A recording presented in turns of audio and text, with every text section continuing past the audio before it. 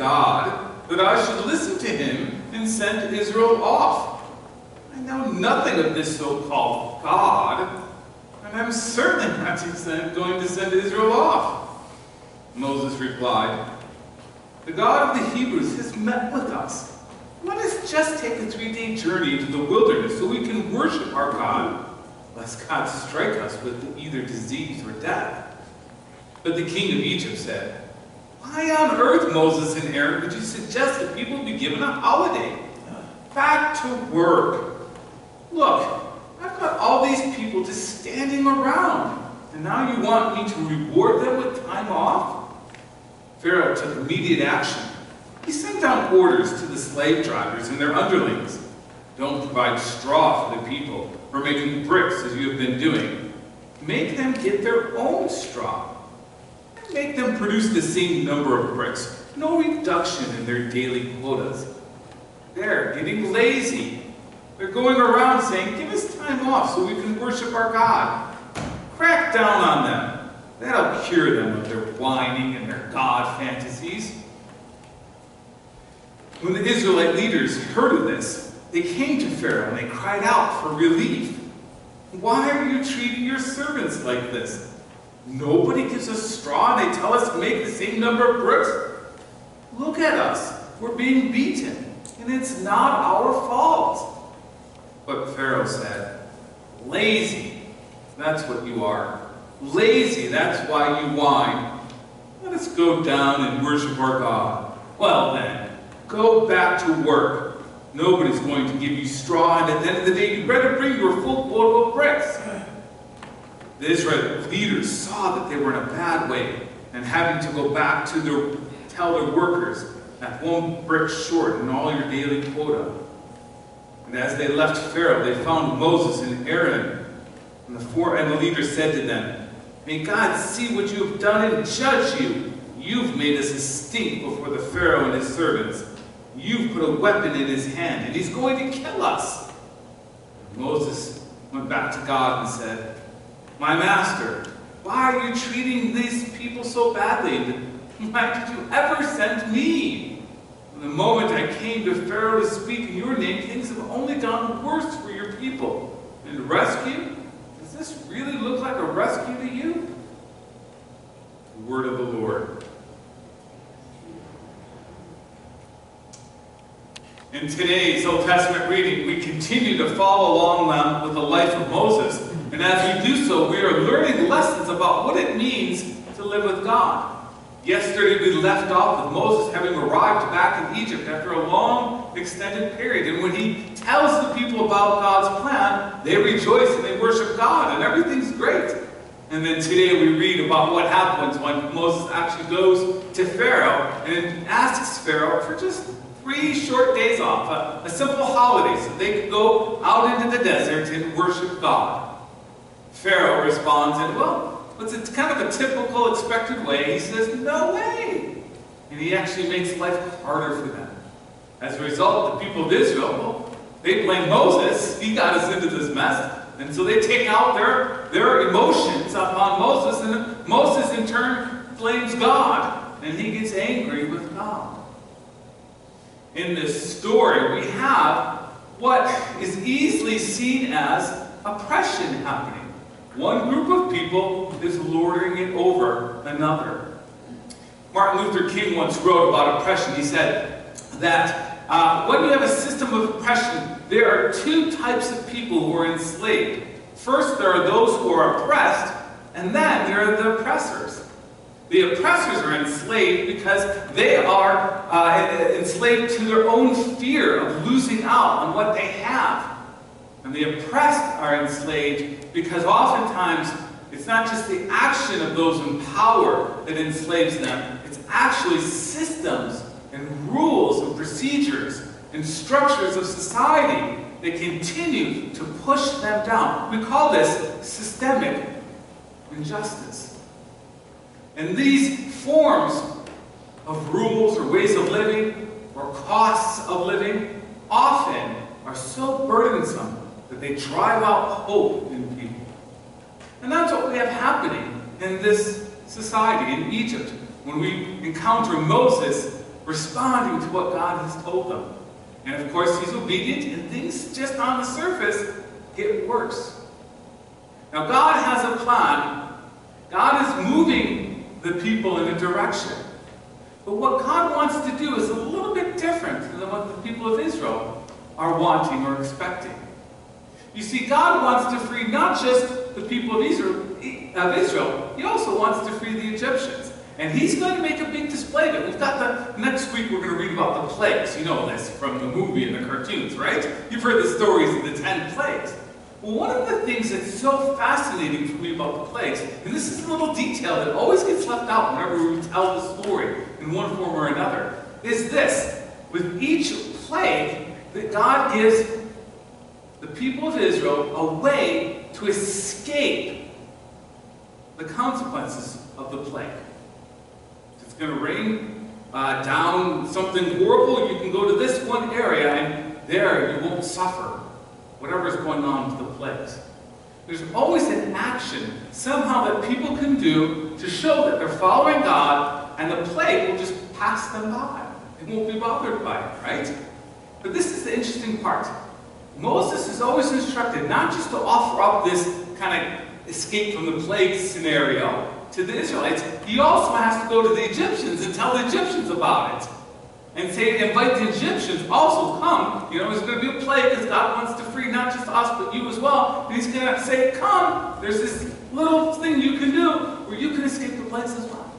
Because God wants to escape both, uh, to free both those who are oppressed and also the oppressors. Oftentimes we think of freedom as just, well, escape from oppression so that it's my turn to be the one in power. It's my turn to be the one to lord it over. And that's actually what Israel does, because eventually, you know the story. There's no spoilers here, right? God's going to lead them out of Egypt. He's going to free them. And what's uh, Israel going to do? They're going to become the oppressors to other people. And that's common what we think about as freedom. We have this concept that freedom means that no longer is anybody can control me, but I get to control others. And that's what God wants to change. And so that's why God is going through this whole process of wanting to reach out and touch the hearts not just, and capture the hearts not just of the Israelites, but also the Egyptians as well. But both are oppressed. Both are stuck. Both are being held and beaten down by these systems that have been put in place so that those who have power, who have privilege, who have wealth, can hold on to it and not lose it. As I was reading this passage, I was also confronted with our country today all the events that have happened this past week. And you've probably seen them on the news or read about them. First, we have yet another shooting at the hands of police officers that on the surface looks like a horrendous miscarriage of justice. And it seems like these are popping up every week. We have another report, we have another video of those who are in power taking advantage of it and using it to push down and oppress those who do not have power. Then, of course, we have the response from those who feel oppressed in the shooting of Dallas policemen on Friday night. Again, we seem to be spiraling out of control into violence where we're just killing one another. So what do we do? How do we respond? What are we supposed to be as Christians in a world that seems like it's a, oppression is just spreading, and the only answer that people have is violence. Violence on the part of those who are in power, and violence on the part of those who are not. So what do we do? How do we respond? There's a video I want to show you, and it's from an African-American woman who's a, a very profound theologian, and she's speaking about oppression and how is it that we can move forward? How is it that we as Christians can respond to what we see happening over and over again in our country? But before I show you this video, I want to give you just a final word for you. She's going to word, use the word dominion in this video.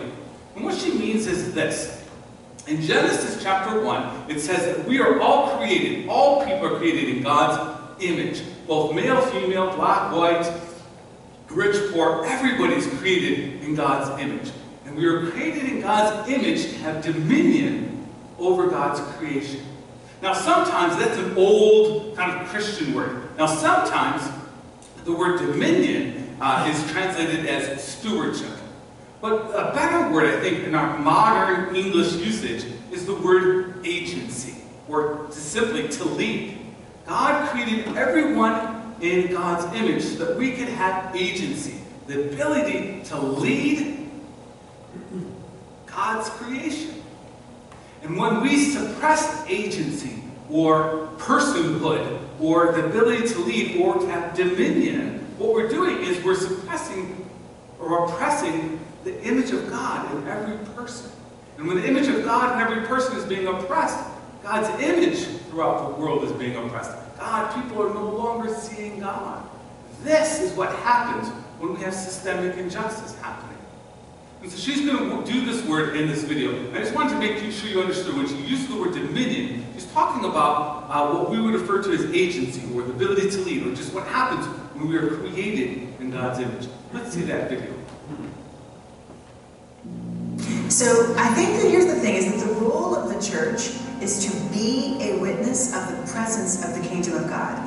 Because here's the thing, Jesus entered in Luke. Jesus said, the kingdom is here. This is not, I mean, yes, there's a, there's a not yet aspect to it, but Jesus himself said, the kingdom of God is near, at hand. You can touch it. In other words, it's him. He's the king. If he's here, the king is here, the kingdom is here. Now, what does that mean? And I think that that's where we go back and we understand that what it means to exercise dominion in a godly way is to exercise it in a way that fans the flame of the image of God in all, that affirms the capacity and the call of all humanity to exercise dominion. And so it means setting the oppressed free.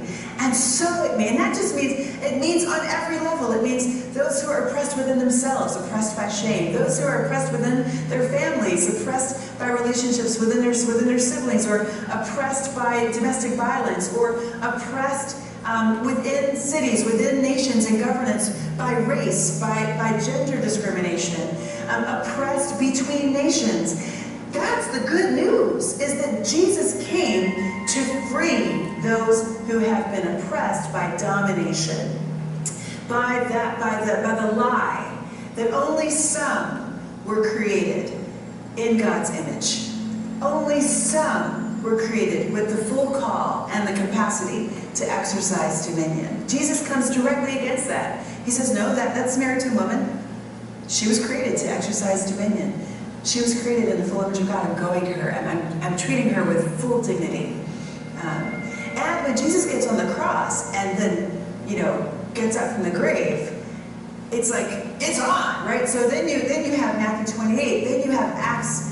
Acts 1. The Spirit is coming and it's going to make you even more powerful. And then we see in Acts 4, we see what the church does. If you want to know what the church is about, go to Acts. See what the, what the church, and the first church does in Acts. They don't just go out there and share the four laws. No, what they do is they actually get into the temple. Now, this is the funny thing. I just, this blew my mind when I thought about this. The temple, at that time, that was the very place where the people ruled who killed Jesus. That was not the place where they just went and they, they got their worship on on Saturday. You know what I mean? It was the place where they felt the least safe. And they went in, and what did they do? They ate together. They sang together. They actually exercised community with their enemies, with the people who, who were after them at some point, who were going after them. And they, they also shared all things in common. They broke down the class, the gender, the racial barriers that were between them. And I think that it actually, um, we see in Paul's Galatians 3, 27 to 29 text, it's where he actually pens what becomes in the early church the baptismal liturgy. He says, um, in Christ, uh, there is no Jew or Greek. There is no male or female. There is no slave or free. These are all power relationships. And so, what, what is the good news to Paul? Paul's good news is when you are in Christ, when you get baptized, you, when you are looking around at the world before you get baptized, you see everybody in the way that the world sees them. You see the power divisions. You see male and female. You see slave and free. You see Greek And you interact with them according to the way that the world, but when you get baptized, you go under, you get washed of that mess. You come up and you see the image of God in all. You see the capacity of women and men to exercise dominion. You see the capacity of Jews and Greeks to exercise dominion. You see the capacity of, of people who are enslaved, as much as people who are free, to exercise dominion because all are made in the image of God. What are the implications if you get those nuances? Well, the impl- honestly, the implication is that we, we, we should be, be led to interact differently with ourselves. We should be led to see ourselves as fully human. And I think that that means something for, it means something different for different people, right? So for some, fully human actually means they have full dignity. I don't have to put anything on. I don't have to put on any masks. I can be vulnerable and be okay. I can interact with others and not have to live up to some expectation of what they think I should be. I'm able to just be human. And it's okay and it's good. And actually, that creates the conditions where we can then have community.